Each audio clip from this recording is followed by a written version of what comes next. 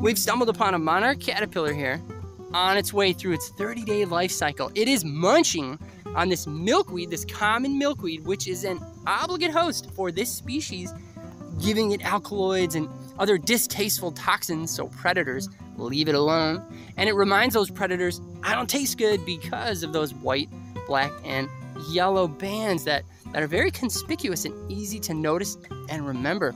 So it's on its way through complete metamorphosis, that is egg, larva, pupa, adult, so egg, and then this guy, the caterpillar. The pupa next will be a chrysalis, which will hang upside down. And in 10 to 14 days, it would emerge from that chrysalis with its wings.